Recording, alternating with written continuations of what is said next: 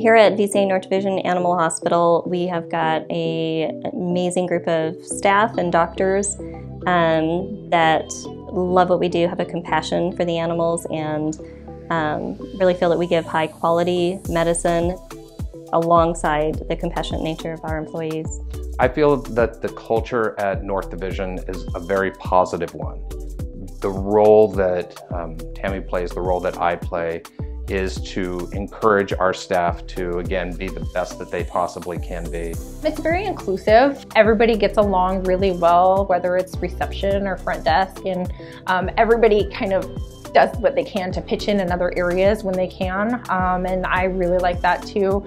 Definitely looking for somebody who has a really positive attitude and people who um, you know, are self-starters who, um, you know, see that something needs to, to be taken care of and they just take care of it, you know, and they're able to anticipate people's needs and just jump in there.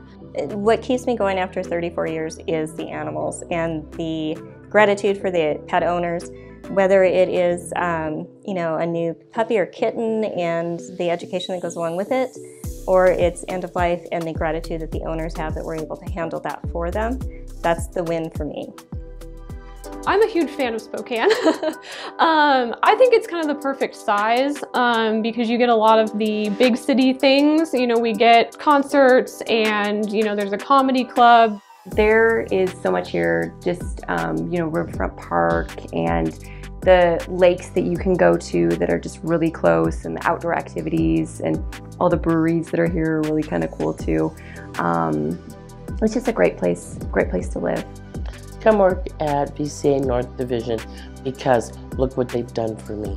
I'm 59 years old and because of Uncle COVID, our boarding facility has been shut down. They did not let me go. They kept me on. They said you can tack and they have made positions just for me to keep me here. What other company would do that? They take care of their people.